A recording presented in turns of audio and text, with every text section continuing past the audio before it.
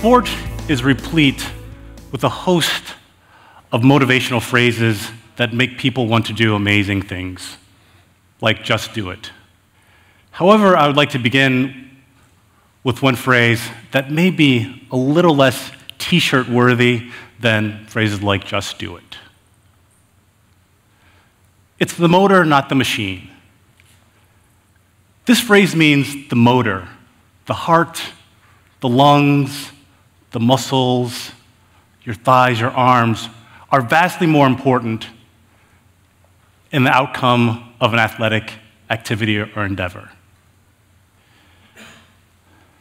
As a aspiring young cyclist in the late 80s, early 90s, this was a phrase I spoke to myself, my teammates, and my friends regularly to think about and manage my concerns about where technology in sport was going.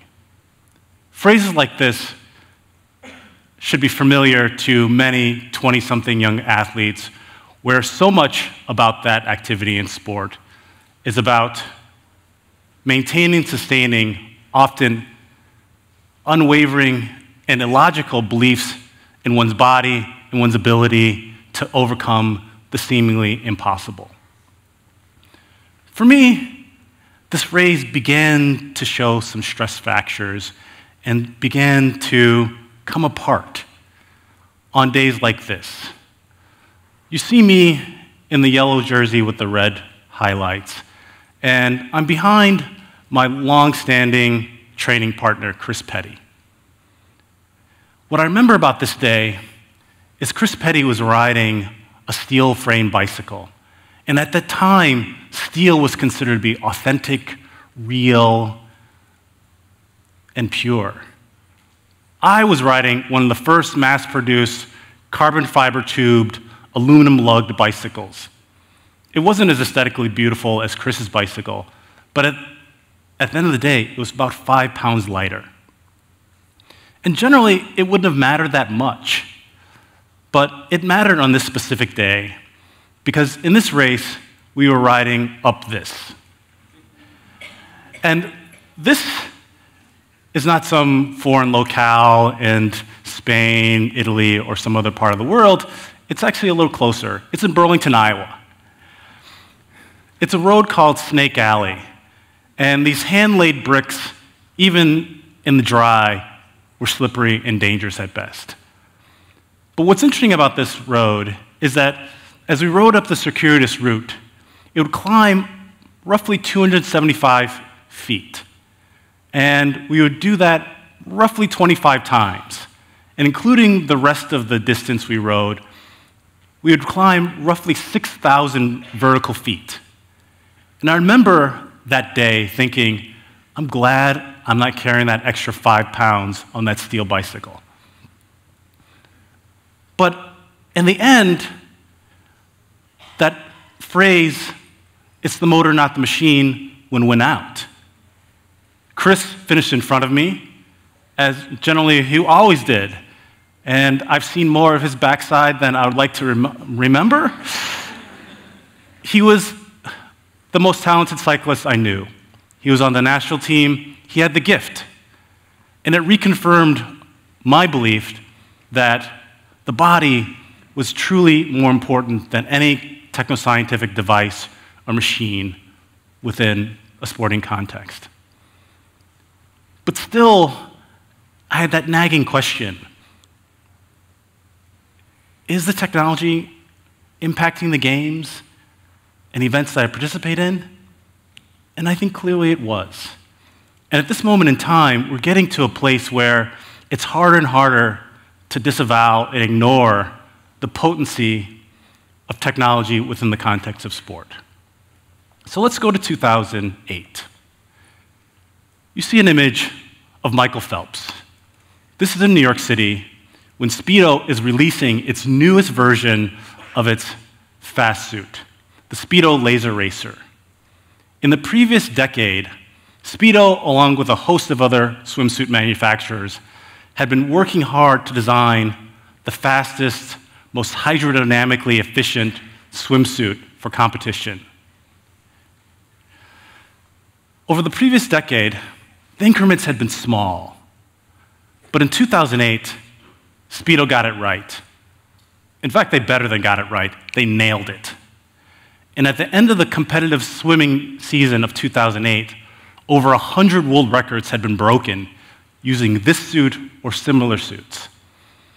In 2009, at the World Championships, 43 world records were broken during the championships. And at that moment, swimming had a problem. It had a black polyurethane swimsuit problem. FINA, the governing body of swimming, banned these types of suits in early 2010, but many would argue that the damage had already been done. And that damage was disaggregating the body from the athletic sporting equation. And the question was what were you watching when you watched elite level swimming? Were you watching the athletes or were you watching the best swimsuit that technoscience could provide? And you started hearing terms like technological doping relating to these suits. And part of the question was when we watch athletics, it's about the human drama. But the same idea bodies still do amazing, incredible things. In 1968, Bob Beamon at the Mexico City Olympic Games creates a new world record, but also a new Olympic record. He jumps 8.9 meters. His Olympic record still stands today. And what's amazing about this athletic feat is that he jumps so far, as you can see, he jumps beyond the limits of the measuring equipment. So, what that means is the International Olympic Committee had an understanding where they thought the out limit of where an athlete was able to jump, and Beamon surpassed it. He breaks the record by over 21 inches. What's fascinating about it is that it's a moment where we can embrace the triumph of his body. But fascinating enough, when they finally figure out how to measure the jump, Beamon himself breaks down when he finds out. You see him falling on the track because he jumps farther than he even believed his body could jump, which is amazing. So, bodies still can do amazing things or unbelievable things, but we have to also understand that technology has always played a role in the outcome of sporting competitions. Let's go to 1954, the World Cup final Hungary versus West Germany. The Hungarians were the overwhelming favorite. They had been dominating international football for the previous two years, In the group competition had beaten West Germany 8 to 3. So, in many people's minds, it was a foregone conclusion that West Germany would lose and Hung- Hungary would become the world champions. But it's also interesting to think about other conditions that influence the competition. And some would argue that this individual had a role in it. This person you see, his name is Adolf Dassler. Had been working on designing and building and manufacturing elite athletic shoes for decades. He's the individual who designed and built the running spikes that Jesse Owens won Olympic medals in 1936. But what's also important about him is that by his, to his friends, he's known as Adi Dassler. And he was in the process of building his company that was a merger of his names, Adi Das, or as we know in the United States, Adidas. Three stripes, this is the guy. What's interesting about that World Cup final is that it began to rain early on in the game. And at halftime, it's 2 2. All four goals are scored 18 minutes in the game.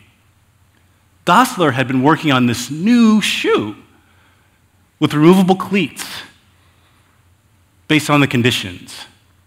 The West German team deploys the shoe for the rainy, messy, destructing, falling apart pitch. In an 84th minute, legendary Helmut Rahn scores the go ahead goal. West Germany wins the World Cup, and as the narrative goes, was able to leave behind the history of the Nazi regime and become a global power.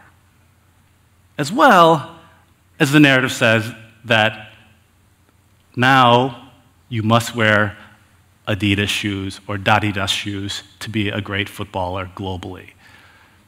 But the question still persists was it the shoes or was it the athlete? More recently, Nike has created a new program called Breaking Two. And the goal is to break the two hour marathon barrier.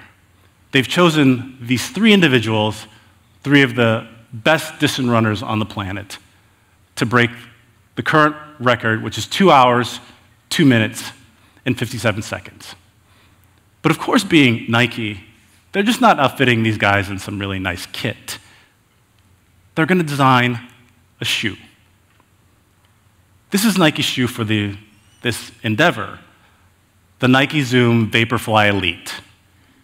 What's special about this shoe is that the foam they designed for it is supposed to return 13% more rebound.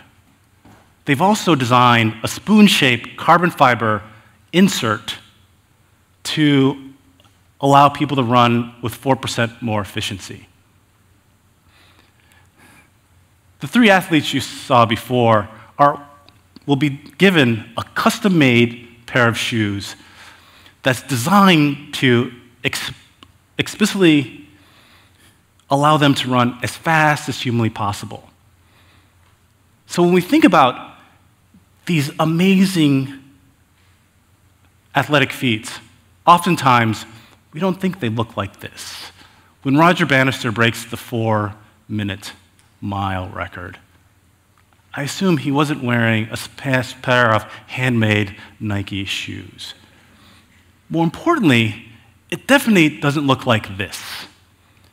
This is an image from March 7th of this year. Nike ran a half marathon test, and the test was to see how all the pieces fit together.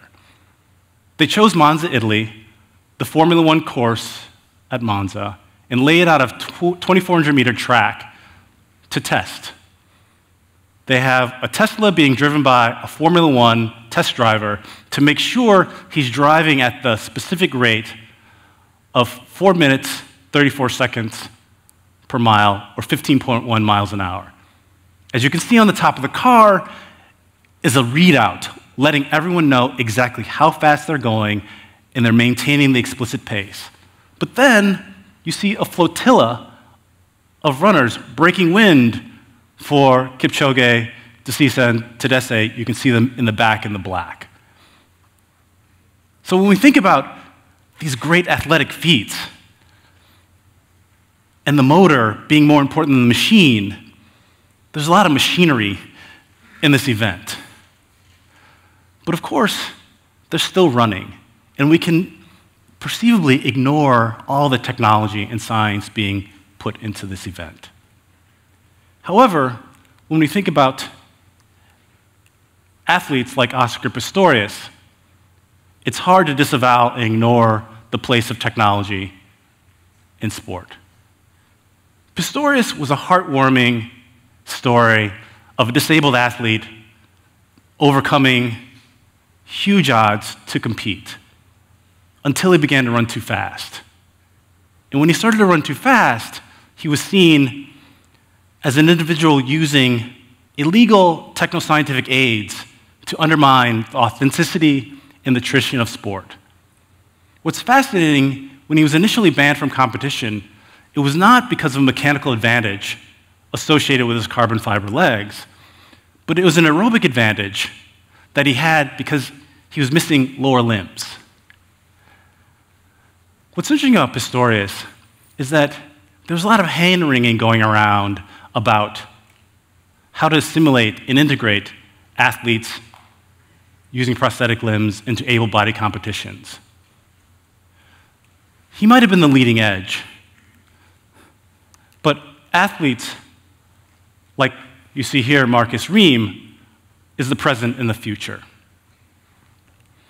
At the 2015 International Paralympic Committee Championships, Rehm jumped a personal best of 8.4 meters.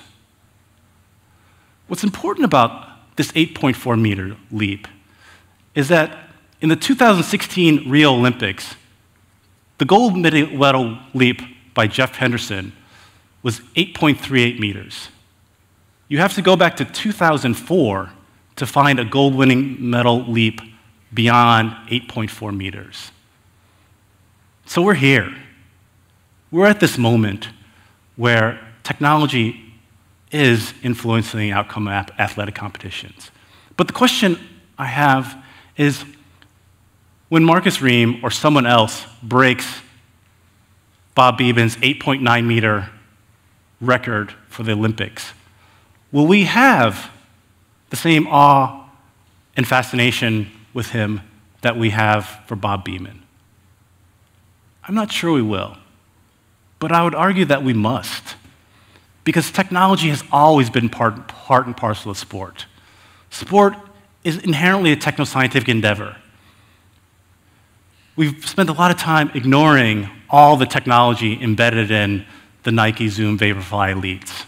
We can ignore all the technology on the bottom of Nike shoes, say, for instance, last night when the United States national team beat Honduras.